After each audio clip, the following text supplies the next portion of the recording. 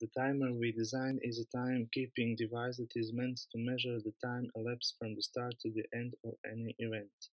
The timer has several different functions including both start and stop, reset, and it's able to clear hundreds of the seconds output. We used the Altera DE2 Cyclone 2 FPGA board. The board was used to implement our timer, and 7-segment display on it was used to display the elapsed time. The computing language that we use to write the program is VHDL. For the functions, we used three start, stop, and reset switches and 15 GHz clock. As you can see, the elapsed time will be displayed on the 7 segment display. When the pause switch is activated, the timer will stop running. And when the last function, reset, is activated, all digits change to zeros. Now we will show it once again.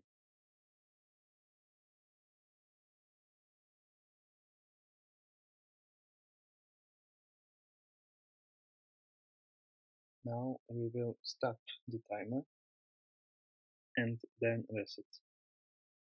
Thanks for watching.